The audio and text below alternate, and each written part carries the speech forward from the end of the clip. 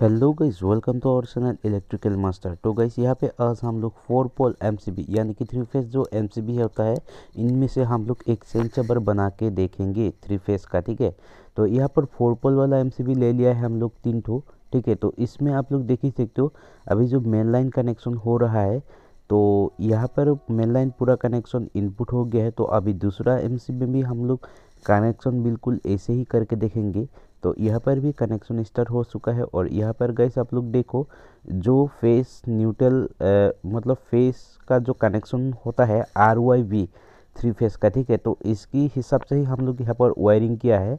तो अभी दोनों एमसीबी का, जो फोर पोल एम है उसका हो गया। तो अभी हम लोग जो एक नंबर एमसीबी से आउटपुट निकाल के जाते हैं मतलब सबसे टब वाली एमसीबी से, ठीक है? तो इसमें हम लोग पूरा कनेक्शन सर्किट कर दिया है, ठीक है? तो यहाँ पर देखो गाइस यहाँ पर बहुत ही आसानी से आप लोग यहाँ पर देख सकते हो, हमारा जो सेंस ओवर का कनेक्शन पूरा हो गया है।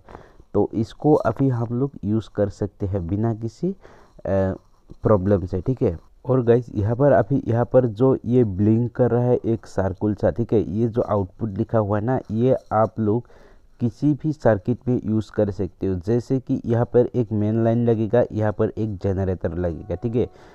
तो गैस यहाँ पर ही सबसे ध्यान देने वाली बात आते हैं तो जब भी गैस एक सी यहाँ से ये वाला ऑन रहेगा, तब इसको हम लोग ऑफ़ करके रखना पड़ेगा, क्योंकि ये जनरेटर से आएगा, ठीक है? थ्री फेस तो ये मेन लाइन से आएगा। और जब भी हम लोगों को यहाँ पर ये वाला ऑन रहेगा, तब ये वाला हमारा ऑफ़ रहेगा, ठीक है?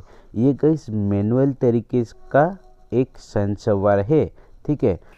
तो गाइस यहाँ पर एक बार फिर से समझ लीजिए आप लोग, यहाँ पर जो ये नंबर वन एमसीबी है, ये जब भी ऑन रहेगा गाइस जब भी मेन लाइन चालू होगा, तभी ये वाला ऑन रहेगा, और ये जो जनरेटर से आया हुआ जो एमसीबी में इनपुट हुआ है, वो गाइस ऑफ़ रहेगा, ठीक है? ये जो है मैनुअल तरीका का एक सेंसोवर है और जब भी गैस ये लाइन चला जाएगा, ठीक है, लाइन काट ऑफ़ हो जाएगा, तब जब जनरेटर वाला आप एमसीबी उठाएँगे, तब गैस ये जो मेन लाइन से इनपुट हुआ है ना, ये वाला एमसीबी आप लोगों को डाउन करना पड़ेगा मतलब ऑफ़ करना पड़ेगा, ठीक है, तभी ये वाला सेंसोबर काम करेगा, क्योंकि ये मैनुअल सेंसोबर है, ठीक है। तो कैसे आज की वीडियो में इतना ही, और मिलते हैं अगले वीडियोस में।